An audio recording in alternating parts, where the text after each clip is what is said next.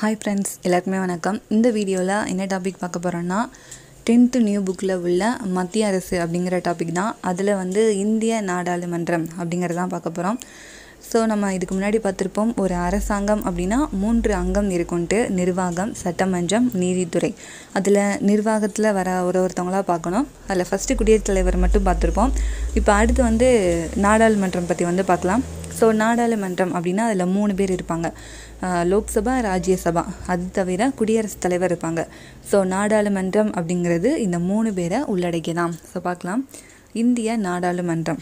ஓகேவா இதுக்கு என்னென்ன பேர்லாம் இருக்குது அப்படின்னா மத்திய சட்டமன்றம் அப்படின்னு சொல்கிறாங்க பாராளுமன்றம் அப்படின்னு சொல்கிறாங்க இங்கிலீஷில் பார்லியாமெண்ட் அப்படின்னு சொல்கிறாங்க ஓகேவா பார்லிமெண்ட். ஓகே பார்லிமெண்ட் அப்படின்னு சொல்கிறாங்க ஸோ நாடாளுமன்றம் மத்திய சட்டமன்றம் பாராளுமன்றம் இங்கிலீஷில் பார்லிமெண்ட்டு இது எல்லாமே என்னென்னா நம்மளுடைய அந்த நாடாளுமன்றத்தை தான் குறிக்கிறது ஓகே அதுக்கப்புறம் வந்து நம்மளுடைய நாடாளுமன்றம் வந்து பார்த்திங்கன்னா இரண்டு அவை உடையது. லோக்சபா அண்ட் ராஜ்யசபா. அதனால அதை வந்து ஈரவை மன்றம் அப்படின்னும் சொல்கிறாங்க அதை ஈரவை மன்றம் அப்படின்னு சொல்கிறாங்க இங்கிலீஷில் பைக் கேமரல் ஓகேவா பைக் கேமரல் அப்படின்னா அது வந்து ஈரவை மன்றத்தை குறிக்கிது. ஸோ ஈரவையே குறிக்கிது. பைக் கேமரல் ஓகேவா ஸோ இது வந்து ஜென்ரலாக தெரிஞ்சுக்கோங்க. நாடாளுமன்றத்துக்கு இவ்வளோ பேர் இருக்குது அப்படிங்கிறது. ஸோ நாடாளுமன்றம் அப்படின்னா மூன்று பேர் உள்ளடக்கியதான் குடியரசுத் தலைவர் லோக்சபா ராஜ்யசபா. ஃபஸ்ட்டு வந்து பார்க்கலாம் மக்களவை ஓகேவா ஸோ ரெண்டவை இருக்குது மக்களவை மாநிலங்களவை.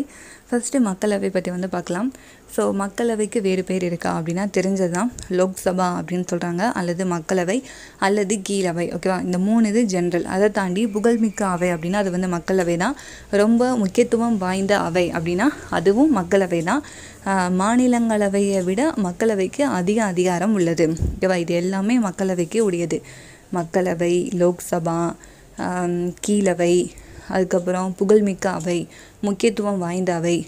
மாநிலங்களவையை விட அதிக அதிகாரம் மக்களவைக்கு தான் உள்ளது. ஓகேவா ஸோ இது வந்து ஜென்ரல் இப்போ வந்து மக்களவை அப்படின்னா என்னங்க? அதாவது நிறைய பேர் உட்காந்துருப்பாங்க இல்லையா நாடாளுமன்றத்தில். ஸோ அதில் ரெண்டு அவையில் ஒரு அவை தான் மக்களவை. அங்கனுக்குள்ளே உறுப்பினர்கள் இருக்காங்க. மக்களவையிலையும் உறுப்பினர்கள் இருக்காங்க. மாநிலங்களவையிலையும் உறுப்பினர் இருக்காங்க. நம்ம ஃபஸ்ட்டு தெரிஞ்சுக்க வேண்டிய பாயிண்ட்டு எத்தனை உறுப்பினர்கள் இருக்காங்க? அது எங்கெங்கேருந்து தேர்ந்தெடுக்கப்படுறாங்க? இது ஃபஸ்ட்டு இதை கிளியராக தெரிஞ்சுக்கோங்க. ஸோ ஃபஸ்ட்டு மக்களவையில் எத்தனை உறுப்பினர்கள் அப்படிங்கிறத வந்து பார்த்துடலாம். பாருங்கள் ஒரு மக்களவை ஓகேவா மக்களவையில் ஐநூற்றி ஐம்பத்தி ரெண்டுக்கு மிகாமல் உறுப்பினர்கள் இருக்கலாம். அதாவது ஐநூற்றி ஐம்பத்தி ரெண்டு உறுப்பினர்கள் இருக்கலாம். அதுக்கு மேலே போகக்கூடாது. ஓகேவா? அவ்வளோதான் ஐநூற்றி ஐம்பத்தி ரெண்டு தான் இருக்கணும். அதுக்கு கீழே இருக்கலாம். அதுக்கு மேலே மட்டும் போகக்கூடாது. இதுதான். ஸோ இப்போ எத்தனை உறுப்பினர்கள் இருக்காங்கன்னு கேட்டிங்கன்னா ஐநூற்றி நாற்பத்தஞ்சு உறுப்பினர்கள் இருக்காங்க. ஐநூற்றி ஐம்பத்தி ரெண்டை விட கம்மியாக தான் இருக்கும். ஐநூற்றி ஐம்பத்தி ரெண்டை விட கூடலை? ஓகே. இப்போ ஐநூற்றி ஐம்பத்தி ரெண்டு உறுப்பினர்கள் இருக்கலாம் அப்படின்னா எப்படிலாம் அதை பிரித்து காட்டுறாங்கன்னு பாருங்கள் ஐநூற்றி முப்பது பேர் மாநிலங்களிலிருந்து தேர்ந்தெடுக்கப்பட வேண்டும்.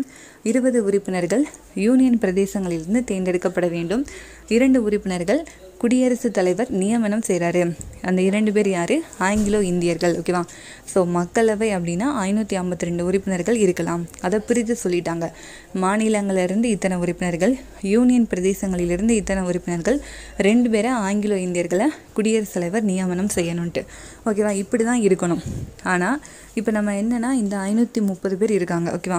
மாநிலங்கள்லேருந்து ஐநூற்றி முப்பது பேர் தேர்ந்தெடுத்தாச்சு. ஆங்கிலோ இந்தியர்கள் ரெண்டு பேரை குடியரசுத் தலைவர் நியமனம் செஞ்சுட்டாரு. இந்த இருபது யூனியன் பிரதேசம் இருக்கு இல்லையா? இதில் நம்ம வந்து பார்த்திங்கன்னா இப்போ பதிமூணு உறுப்பினர்கள் தான் தேர்ந்தெடுக்கப்பட்டிருக்காங்க ஓகேவா? ஸோ பதிமூணு உறுப்பினர்கள் தான் தேர்ந்தெடுக்கப்பட்டிருக்காங்க. ஸோ மொத்தம் இருக்கிறது ஐநூற்றி நாற்பத்தஞ்சு உறுப்பினர்கள். ஸோ இது நல்லா கிளியராக படிச்சுக்கோங்க. இப்போ இந்த உறுப்பினர்கள் அங்கே போய் உட்கார்றதுக்கு அவங்களுக்கு என்ன தகுதி வேணும்? நான் வந்து அந்த சீட்டில் போய் உட்காரணும் அப்படின்னா எனக்கு என்ன தகுதி வேணும் அப்படின்னு கேட்டிங்கன்னா ஸோ தகுதி வந்து பாருங்கள் மக்களவை உறுப்பினர் ஆவதற்கான தகுதிகள் என்ன அப்படின்னு கேட்டிங்கன்னா நம்ம இந்த டாபிக் பார்க்கும்போதே எல்லாருக்குமே காமனாக வரக்கூடியது என்னன்னு கேட்டிங்கன்னா அவர் இந்திய குடிமகனாக இருத்தல் வேண்டும். இந்தியாவில் தான் பிறந்தவராக இருக்க வேண்டும். செகண்டு மனநிலை குன்றியவராக இருத்தல் கூடாது. கடன் பெற்றவராக இருத்தல் கூடாது. ஓகேவா இந்த மூணுமே இது. அடுத்து வந்து பார்த்திங்கன்னா மத்திய அரசிலோ மாநில அரசிலோ உள்ளாட்சி அமைப்பிலோ சட்டமன்றத்திலோ பாராளுமன்றத்திலோ ஓகேவா ஸோ ஊதியம் பெறும் வகையில் ஒரு பதவியில் இருக்கக்கூடாது.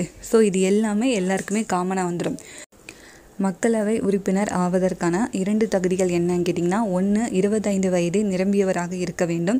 அடுத்தது இந்தியாவில் உள்ள ஏதேனும் ஒரு தொகுதியில் வாக்காளர் பட்டியலில் இவருடைய பெயர் வந்து இருக்க வேண்டும். ஸோ அவ்வளோதான் இவங்களுக்கு இது கொடுத்துருக்கு இல்லையா இதை படிக்கும்போது குடியரசுத் தலைவரை கம்பேர் பண்ணிக்கலாம்.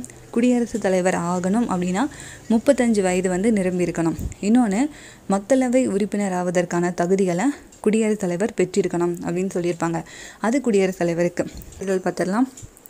ஓகே ஸோ மக்களவை உறுப்பினர்களை தேர்ந்தெடுக்கிறாங்க. அது எப்படி அப்படின்னு கேட்டிங்கன்னா தேர்தல் மூலமாக தான் நேர்முக தேர்தல். ஸோ மக்களே எனது டைரெக்டாக இந்த உறுப்பினர்களை தேர்ந்தெடுக்கிறதுனால இது வந்து நேரடி தேர்தல் அப்படின்னு சொல்லுவோம். மக்கள் வந்து இந்த தேர்தலில் ஈடுபடலை அப்படின்னா அது வந்து மறைமுக தேர்தல். மக்களவை வந்து பார்த்திங்கன்னா நேரடி தேர்தல் தான். ஏன்னா மக்களே டைரெக்டாக தேர்ந்தெடுக்கிறாங்க. ஸோ இது ஒரு நேரடி தேர்தல். இந்த தேர்தலை யார் நடத்துவாங்க அப்படின்னு கேட்டிங்கன்னா இந்திய தேர்தல் ஆணையம் தான் நடத்தும். இந்திய தேர்தல் ஆணையம் தான் நடத்தும். எப்படி நடத்தும் அப்படின்னு கேட்டிங்கன்னா இந்தியாவை ஐநூற்றி நாற்பத்தி மூணு தொகுதிகளாக பிரிச்சிருக்காங்க ஓகேவா இந்தியாவில் இந்தியாவில் மொத்தம் நாடாளுமன்ற தொகுதி எத்தனை அப்படின்னு கேட்டிங்கன்னா ஐநூற்றி நாற்பத்தி மூணு தொகுதி இருக்குது ஒவ்வொரு தொகுதியிலையும் வேட்பாளர் வந்து இருப்பாங்க. அந்தந்த கட்சி சார்பாக யார் ஜெயிக்கிறாங்களோ ஐநூற்றி நாற்பத்தி மூணில் ஐநூறு தொகுதி யார் ஜெயிக்கிறாங்களோ அவங்க தான் மக்களவையில் பெரும்பான்மை பெற்ற கட்சியாக இருப்பாங்க. அந்த கட்சி இவரை வந்து பிரதம அமைச்சரை நியமனம் செய்யலாம்னு யார் சொல்கிறாங்களோ அவங்க தான் பிரதம அமைச்சராக ஆவாங்க. ஓகே. ஸோ இந்திய தேர்தல் ஆணையம் தான் தேர்தலை நடத்துது. ஸோ இந்தியா வந்து பார்த்திங்கன்னா தொகுதியாக வந்து பிரிக்கப்படும். பல தொகுதிகளாக பிரிக்கப்படும். அந்த தொகுதி எதன் அடிப்படையில் பிரிக்கப்படும் அப்படின்னு கேட்டிங்கன்னா அந்தந்த மாநில மக்கள் தொகை அடிப்படையில் பிரிக்கப்படும். இப்போ நம்ம தமிழ்நாடு அப்படின்னா எத்தனை தொகுதி இருக்குன்னு கேட்டிங்கன்னா முப்பத்தொம்போது தொகுதி இருக்குது பாருங்கள் இந்தியா முழுவதும் ஐநூற்றி நாற்பத்தி மூணு தொகுதிகள் இருக்குது ஸோ மாநிலம் அண்ட் யூனியன் பிரதேசம் வாரியாக தான் பிரிச்சிருப்பாங்க. பாருங்கள் தமிழ்நாட்டில் வந்து முப்பத்தொம்போது தொகுதி இருக்குது அதிகபட்சம் தொகுதி எங்கே இருக்கலாம் அப்படின்னா உத்தரப்பிரதேசத்தில் இருக்கலாம். ஏன்னா அங்கே வந்து மக்கள் தொகை அதிகம். ஸோ மக்கள் தொகை அடிப்படையில் தான் தொகுதி பிரிக்கிறதுனால உத்தரப்பிரதேசத்தில் அதிக நாடாளுமன்ற தொகுதி வந்து இருக்கலாம் அல்லது மக்களவை தொகுதி. தமிழ்நாட்டில் முப்பத்தி ஒம்பது தான் இருக்குது செகண்ட் வந்து பார்த்திங்கன்னா யூனியன் பிரதேசம் வந்து பார்க்கலாம் புதுச்சேரியில் ஒன்று அனைத்து யூனியன் பிரதேசத்துலேயும் ஒரு தொகுதி தான் இருக்கும். டெல்லியில் மட்டும் வந்து பார்த்திங்கன்னா ஏழு தொகுதிகள் இருக்குது ஸோ இதை நோட் பண்ணிக்கோங்க. டெல்லி அது ஒரு யூனியன் பிரதேசம் தான். நியூ டெல்லி. அதில் மொத்தம் ஏழு நாடாளுமன்ற தொகுதிகள் இருக்குது ஸோ தமிழ்நாட்டுக்கு முப்பத்தொம்போது இது முக்கியம். ஸோ இந்த இது பார்த்தாச்சு. அடுத்து வந்து தகுதி. தகுதி பார்த்தாச்சு. அடுத்து பதவிக்காலம். ஓகே ஸோ மக்களவை அப்படின்னாலே அது வந்து ஐந்து ஆண்டு காலம் ஓகேவா அந்த மாதிரி தேர்தல் நடத்தி ஒருத்தவங்க சீட்டில் போய் உட்காராங்க அப்படின்னா அஞ்சு வருஷத்துக்கு அவங்க வந்து அதில் இருக்கலாம். அப்படி இல்லை இது வந்து கலைக்கலாமா அப்படின்னா கலைக்கலாம். ஸோ மக்களவை மாநிலங்களவை. ஸோ மக்களவை ஐந்து காலம் ஐந்தாண்டு காலம் மாநிலங்களவை ஆறு ஆண்டு காலம். ஓகேவா? அப்படின்னு சொல்லுவாங்க மக்களவை பற்றி வந்து பார்க்கலாம். மக்களவை நல்லா செயல்படுது அப்படின்னா அஞ்சு ஆண்டு காலம் வரைக்கும் அது வந்து எந்த ஒரு பிரச்சனையும் இல்லாமல் இருக்கும். இன்கேஸ் இது வந்து கலைக்கப்படலாம். எப்போ கலைக்கப்படலாம் அப்படின்னு கேட்டிங்கன்னா குடியரசு பிரதம அமைச்சருடைய பரிந்துரையின் பேரில் குடியரசுத் தலைவர் கலைக்கலாம். கலைக்கிறதுக்கு அதிகாரம் குடியரசுத் தலைவருக்கு மட்டும்தான் இருக்குது ஆனால் குடியரசுத் தலைவர் போர் அடிக்குது அப்படின்ட்டு போய் கலைக்க மாட்டாங்க. பிரதம அமைச்சர் சொன்னார்னா கலைப்பாங்க. பிரதம அமைச்சர் எப்போ சொல்வார் அப்படின்னு கேட்டிங்கன்னா தன்னுடைய கட்சி உடையிற மாதிரி இருக்குது அப்படின்னா அவர் என்ன பண்ணிடுவார்? ஓகே ஓகே கழிச்சிருங்க நாங்கள் ஆட்டையெல்லாம் கழிச்சிருங்க. நாங்கள் முதல்ல இருந்து தேர்தல் வச்சு நாங்கள் செலக்ட் ஆகி வரோம் அப்படின்னு சொல்லுவாங்க. ஓகேவா? அதாவது பார்த்திங்கன்னா பிரதம அமைச்சர் அப்படின்னா யாராக இருப்பாங்க? அந்த மக்களவையில் ஐநூறு சதவீ ஐநூறு ஓட்டு ஐநூறு வாக்காளர்கள் இவங்க கட்டுப்பாட்டில் இருப்பாங்க. திடீர்னு ஐநூறில் பாதி பேர் ஓகேவா பாதி பேர் வேற ஒருத்தவங்களுக்கு சப்போர்ட் பண்ணுறாங்க அப்படின்னா அடுத்து அவங்க பெரும்பான்மை ஆயிடுவாங்க இல்லையா? ஸோ இது தெரிஞ்சிச்சு அப்படின்னா பிரதம அமைச்சர் என்ன சொல்லிடுவாங்க? கலைச்சிருங்க அப்படின்னு சொல்லிடுவாங்க. ஓகே இப்போ வந்து தெரியல ஓகேவா இப்போ வந்து தெரியல. அப்படியே பிரிஞ்சு போனாலும் ஒன்றும் இல்லை. நாங்கள் வந்து பார்த்துக்குறோம் அப்படின்னு சொல்கிறாங்க பிரதம அமைச்சர். கலைக்கெல்லாம் ஒன்று வேணாம். அடுத்து என்ன அப்படின்னு பார்த்தோன்னா நம்பிக்கை இல்லா வாக்கெடுப்பு நம்பிக்கை தீர்மானம் அப்படின்னு சொல்லுவாங்க. அப்படின்னா என்னென்னா இப்போ இந்த ஐநூறுலேருந்து ஒரு பாதி பேர் வந்து என்னது ஜகா வாங்கிட்டாங்க. அப்படின்னா என்னது பின்னாடி வாங்கிட்டாங்க. நாங்கள் அவங்களுக்கு சப்போர்ட்டில் யாருக்கும் சப்போர்ட் இல்லை ஆனால் நாங்கள் வந்து க இந்த சைடு உள்ள கட்சிக்கு இப்போ ஆட்சி உள்ள கட்சிக்கு நாங்கள் வந்து சப்போர்ட் தரல. எங்களோட சப்போர்ட்டை நாங்கள் பின் வாங்கிட்டோம் அப்படின்னா இப்போ எந்த கட்சி ஆட்சியில் இருக்கோ அது வந்து பாதி வந்துருச்சு ஓகேவா பாதி வந்துருச்சு. அதே அளவுக்கு இன்னொரு கட்சியும் இருக்குது இப்போ தான் நம்பிக்கையில்லா தீர்மானம் நடத்துவாங்க. இந்த தீர்மானத்தில் யார் அதிகமாக சப்போர்ட் பண்ணுறாங்களோ ஓகேவா யார் அதிகமாக எண்ணிக்கையில் வாக்கு வாங்குறாங்களோ அந்த கட்சியை ஆட்சி அமைக்க சொல்லுவாங்க ஸோ அதுலேயுமே யாருக்கும் பெரும்பான்மை கிடைக்கல அப்படின்னா கலைச்சிருவாங்க ஓகேவா அடுத்து பார்க்கலாம் மாநிலங்களவை. ஓகே ஸோ மக்களவை அப்படின்னா என்ன பார்த்தோம்? மக்களால் தேர்ந்தெடுக்கப்பட்ட உறுப்பினர்கள் உள்ள அவை தான் மக்களவையும் பார்த்தோம். மாநிலங்களவை அப்படின்னா என்னன்னு கேட்டிங்கன்னா மாநிலங்களில் உள்ள சட்டமன்றம் இருக்கு இல்லையா? அந்த சட்டமன்றத்தில் உள்ள உறுப்பினர்கள் ஓட்டு போட்டு சிலரை வந்து தேர்ந்தெடுத்து இந்த அவைக்கு அனுப்புவாங்க. ஸோ அதனால தான் இது வந்து மாநிலங்களவை என்று அழைக்கப்படுது. ஸோ அதான் மாநிலங்களவை. ஸோ மாநிலங்களவை அதில் உறுப்பினர்கள் எத்தனைன்னு பார்த்துடலாம். அதிகபட்சமாக இரநூத்தி ஐம்பது உறுப்பினர்கள் இருக்கலாம். இதே மாதிரி தான் ஓகேவா ஸோ அதிகபட்சமாக இரநூத்தி ஐம்பது வந்து இருக்கலாம். இப்போ எவ்வளோ இருக்காங்க அப்படின்னு கேட்டிங்கன்னா இரநூத்தி நாற்பத்தஞ்சு தான் இருக்காங்க. ஸோ அதை பாருங்கள் பாருங்க. பன்னெண்டு பேர் வந்து குடியரசுத் தலைவராக நியமனம் செய்கிறாங்க அண்ட் இரநூத்தி முப்பத்தி மூணு யார் தேர்ந்தெடுக்கிறாங்க? ஸோ மாநில மாநிலங்களில் உள்ள சட்டமன்ற உறுப்பினர்கள் தேர்ந்தெடுத்து அனுப்புகிறாங்க ஓகேவா ஸோ இதான் வந்து உறுப்பினர்கள் அப்புறம் தேர்தல் வந்து பார்க்கலாம். இது வந்து நேரடி தேர்தல். ஸோ மக்களை டைரெக்டாக வந்து தேர்ந்தெடுக்கிறாங்க. இது வந்து மறைமுக தேர்தல். நம்ம மாநிலங்கள் உள்ள சட்டமன்ற உறுப்பினர்கள் தேர்ந்தெடுத்து இந்த அவைக்கு அனுப்புகிறாங்க ஸோ அதனால் இது மறைமுக தேர்தல். பாருங்கள் மாநிலத்தில் உள்ள எம்எல்ஏக்களால் தேர்ந்தெடுக்கப்படுகின்றன. அந்த எம்எல்ஏக்கெல்லாம் சேர்ந்து ஓட்டு போட்டு இந்த உறுப்பினர்களை வந்து தேர்ந்தெடுக்கிறாங்க. செகண்டு எப்போ போல தான் மறைமுக தேர்தல் அப்படின்னாலே இந்த வாக்கு தான் இருக்கும். ஒற்றை மாற்று வாக்கு மூலம் விகிதச்சார பிரதிநிதித்துவம் அப்படின்னு சொல்கிறாங்க குடியரசுத் தலைவருக்கும் இதே ஓட்டு முறை தான் இந்த தேர்தல் நடத்துறது யாருன்னு கேட்டிங்கன்னா இந்திய தேர்தல் ஆணையம் தான் அடுத்து வந்து பார்த்திங்கன்னா தகுதி. ஸோ இது காமன் தான். கீழே இருபத்தஞ்சு அப்படின்னா மேலவைக்கு முப்பது. ஓகேவா கீழே இருபத்தஞ்சு அப்படின்னா மேலவைக்கு முப்பது. அடுத்து இது வந்து தகுதி. தகுதி அதே தான் ஓகேவா ஸோ இருபத்தஞ்சு வயது முப்பது வயது. பட் இந்த வாக்காளர் பட்டியலில் இருக்கிறது வந்து இதுக்கு மட்டும்தான் இதுக்கெலாம் இல்லை. ஓகேவா அடுத்து வந்து பார்க்கலாம் பதவிக்காலம். ஸோ மக்களவை. மேலே மாநிலங்களவை. ஸோ இது ஐந்தாண்டு காலம் இது ஆறு ஆண்டு காலம். மக்களவையை கலைக்கலாம் இதை கலைக்க முடியாது. முடிஞ்சு. இதை யார் கலைக்கலாம்னு கேட்டிங்கன்னா குடியரசுத் தலைவர் கலைக்கலாம். இது கலைக்க முடியாதுன்னு சொல்லியாச்சுல? அடுத்து பார்க்கலாம் பாருங்கள் ஸோ ஆறு ஆண்டு கலைக்க இயலாது. ஓகே இதில் வந்து பார்த்திங்கன்னா மூணில் ஒரு பங்கு உறுப்பினர்கள் ஒவ்வொரு இரண்டு ஆண்டுக்கும் ஓகேவா ஒவ்வொரு இரண்டு ஆண்டுக்கும் ஓய்வு பெறுகின்றன அப்படின்னு சொல்கிறாங்க அதாவது ஓ- இரண்டு ஆண்டுலேயே மூணில் ஒரு பங்கு உறுப்பினர்கள் இரண்டாண்டில் இரண்டாண்டு முடிவில் என்ன பண்ணுவாங்க? ஓய்வு பெறுறாங்க அப்படின்னு சொல்லியிருக்காங்க. ரிட்டையர் ஆகுறாங்க அவ்வளோதான் அந்த அந்த அந்த பதவி காலியாச்சுன்னா அடுத்து அங்கேருந்து தேர்ந்தெடுக்கப்படுவாங்க அவ்வளோதான் அடுத்து பார்க்கலாம். மக்களவைக்கும் மாநிலங்களவைக்கும் என்னென்ன வேலை அப்படிங்கிறத பற்றி வந்து பார்த்துலாம் ஸோ பாருங்கள் ஃபஸ்ட்டு வந்து மக்களவை ஓகேவா மக்களால் தேர்ந்தெடுக்கப்பட்ட உறுப்பினர்கள் உள்ள அவை. ஸோ இந்த அவையில் மட்டும்தான் நிதி மசோதா மற்றும் நம்பிக்கையில்லா வாக்கெடுப்பு. மக்களவையில் மட்டும்தான் கொண்டு வர முடியும். ஸோ நிதி மசோதா அப்படின்னா இன்னொரு பேர் பண மசோதா. பண மசோதாவை மக்களவையில் மட்டும்தான் அறிமுகப்படுத்த முடியும். மாநிலங்களவையில் அறிமுகப்படுத்த முடியாது. ஃபஸ்ட்டு பாயிண்ட்டு செகண்டு நம்பிக்கையில்லா தீர்மானம் மக்களவையில் தான் கொண்டு வர முடியும். நம்பிக்கையில்லா தீர்மானம் அப்படின்னா நம்ம என்னென்னு பார்த்தாச்சு. ஒன்றும் இல்லை பெரும்பான்மை பெற்ற கட்சியிலேருந்து சில உறுப்பினர்கள் என்ன பண்ணுவாங்க? தங்களுடைய ஆதரவை விலக்கிக்குவாங்க. அப்போங்கும்போது பார்த்திங்கன்னா இதில் யாருமே பெரும்பான்மை சொல்ல முடியாது. ஒருத்தவங்க இரநூறு சீட்டுனா இன்னொருத்தவங்க இரநூறு சீட்டுன்னு இருப்பாங்க. இன்னொருத்தவங்க ஒரு நூற்றம்பது சீட் இருப்பாங்க. ஸோ இந்த மாதிரி பாதிப்பாக தான் இருப்பாங்க தவிர யாருக்குமே பெரும்பான்மை அப்படிங்கிறது கிடைக்காது. ஸோ இந்த டைம் தான் என்ன பண்ணுவாங்க? நம்பிக்கை இல்லா வாக்கெடுப்பு நடத்துவாங்க. அதுலேயும் யார் பெரும்பான்மை பெறலை அப்படின்னா அவங்கள வந்து ஆக்சுவலாக என்னது இந்த க- அந்த ஆட்சியவே கழிச்சிருவாங்க கழிச்சிட்டு மறுபடியும் தேர்தல் வச்சு எல்லோரும் தேர்ந்தெடுக்கப்படுவாங்க ஓகேவா பட் இது வரைக்கும் அந்த மாதிரி நடந்ததே இல்லை. ஸோ நம்பிக்கையில்லா தீர்மானம் கொண்டு வரணும் அப்படின்னா அது மக்களவையில் மட்டும்தான் கொண்டு வர முடியும். ஸோ இந்த இது முடிஞ்சு அடுத்து பார்க்கலாம். அனைத்து மசோதாக்களையும் மக்களவையில் அறிமுகப்படுத்தவும் நிறைவேற்றவும் முடியும். ஓகே ஸோ எந்த ஒரு விதிவிலக்கும் இல்லை. இந்த மசோதா மட்டும்தான் கொண்டு வரணும் அப்படிலாம் இல்லை. எந்த ஒரு மசோதாவையும் மக்களவையில் கொண்டு வரலாம் நிறைவேற்றலாம் அப்படின்னு சொல்லியிருக்காங்க. அடுத்து பார்க்கலாம் மாநிலங்களவை. ஸோ மாநிலங்களவையில் எந்த ஒரு மசோதாவும் மாநிலங்களவை ஒப்புதல் பெற்ற பின்னர் தான் சட்டமாகும் ஓகே ஸோ இப்போ மக்களவையில் ஒரு மசோதா கொண்டு வராங்க அப்படின்னா அதுக்கப்புறம் மக்களவை ஒப்புதல் கொடுத்ததுக்கப்புறம் மாநிலங்களவைக்கு போகும். அதுவும் ஒப்புதல் கொடுத்ததுக்கப்புறம் தான் குடியரசுத் தலைவர்கிட்ட போகும். குடியரசுத் தலைவர் ஒப்புதல் கொடுத்தாதான் அது சட்டமாக மாறும். ஓகேவா? இதுதான் வந்து காமனாக நடைபெறும். பட் ஓகேவா? பண மசோதா தவிர பண மசோதா அல்லது நிதி மசோதா.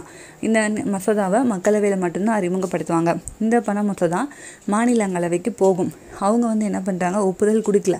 எங்களுக்கு பிடிக்கல. ஓகேவா அந்த பண மசோதா எங்களுக்கு பிடிக்கலன்னு சொல்லி அவங்க ஒப்புதல் கொடுக்கலன்னா பதினாலு நாட்களுக்குள்ளே அவங்க வந்து அந்த பண மசோதாவுக்கு மட்டும் ஒப்புதல் கொடுத்துடணும். அப்படி கொடுக்கல அப்படின்னா அது கொடுத்த மாதிரி கன்சிடர் ஆயிரும். ஓகேவா அவ்வளோதான் அதை பற்றி தான் சொல்லியிருக்காங்க.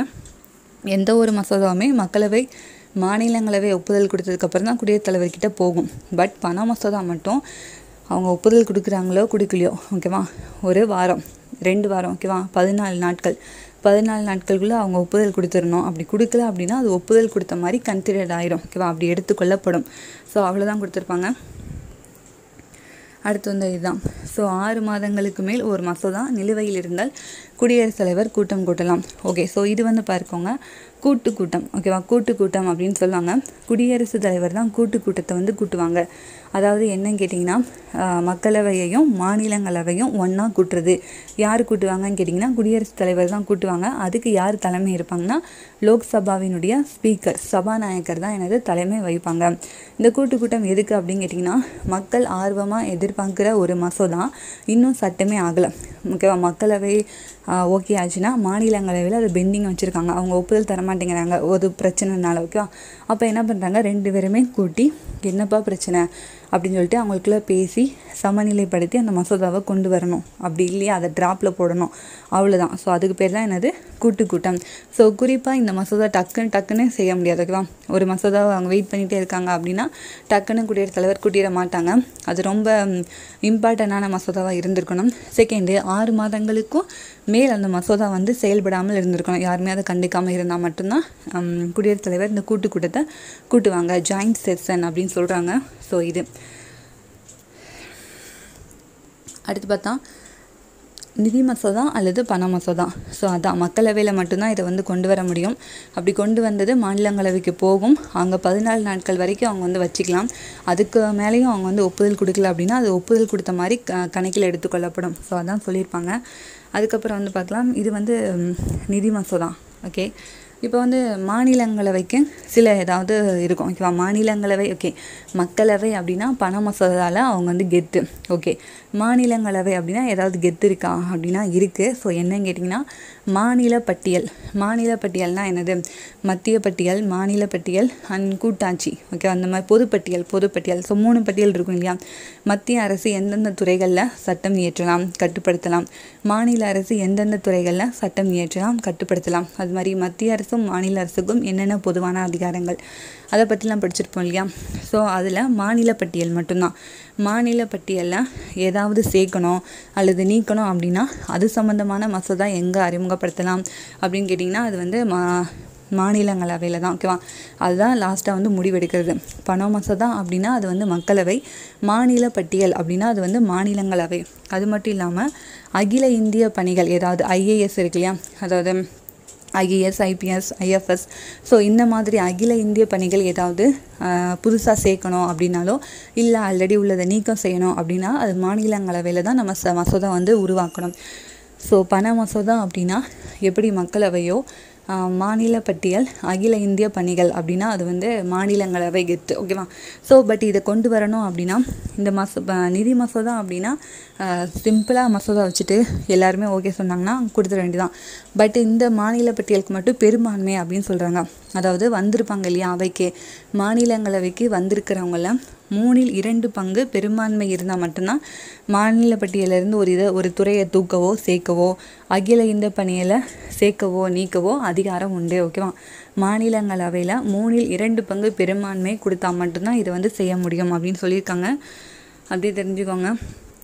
அடுத்து இது காமன் இது வந்து மக்களவைக்கும் அதிகாரம் மாநிலங்களவைக்கும் சம அதிகாரம். இதுதான் பெருசு இதுதான் சிறுசு அப்படின்லாம் சொல்ல முடியாது. தேர்தல். குடியரசுத் தலைவர் அண்டு துணை குடியரசுத் தலைவர் தேர்தலில் மக்களவை உறுப்பினர்களும் இருக்காங்க. மாநிலங்களவை உறுப்பினர்களும் ஈடுபடுறாங்க ஓகேவா? குடியரசுத் தலைவர் துணை குடியரசுத் தலைவர் தேர்தலில் மக்களவை உறுப்பினர்களும் மாநிலங்களவை உறுப்பினர்களும் பங்கேற்கிறாங்க. ஓகே. அது மாதிரி சட்ட திருத்தம். இந்திய அரசியலமைப்பு சட்டத்தில் ஏதாவது ஒரு திருத்தம் செய்யணும் அப்படின்னா அது மக்களவையிலையும் அறிமுகப்படுத்தலாம். மாநிலங்களவையும் அறிமுகப்படுத்தலாம். ரெண்டுக்குமே ஈக்குவல் தான். அதுக்கப்புறம் பதவி நீக்கம். குடியரசுத் தலைவரையோ உச்சநீதிமன்றம் தலைமை நீதிபதியையோ மற்ற நீதிபதியோ பதவி நீக்கம் செய்யணும் அப்படின்னா இம்பீச்மெண்ட் ஆக்ட் அப்படின்னு ஒன்று வந்து கொண்டு வருவாங்க. அதை ரெண்டு அவையில் எங்கேனாலும் கொண்டு வரலாம். பட் ரெண்டு அவையிலுமே பெரும்பான்மையாக வந்து என்னது? ஓட்டு போடணும் ஓகேவா ஆதரவு வரணும் ஓகேவா ஸோ ரெண்டுமே இது வந்து ஈக்குவல் தான். ரெண்டுலேயுமே நிறைவேறினா தான் அந்த இம்பீச்மெண்ட் ஆக்ட்டு மச சட்டமாகவே மாறும். ஸோ அதுதான் இது. ஸோ இந்த மூணுலேயுமே வந்து பார்த்திங்கன்னா மக்களவை மாநிலங்களவையும் ஈக்குவலான அதிகாரங்கள் வச்சுருக்கு. தேர்தல் இந்திய அரசியலமைப்பு சட்ட திருத்தம் அண்ட் பதவி நீக்கம்.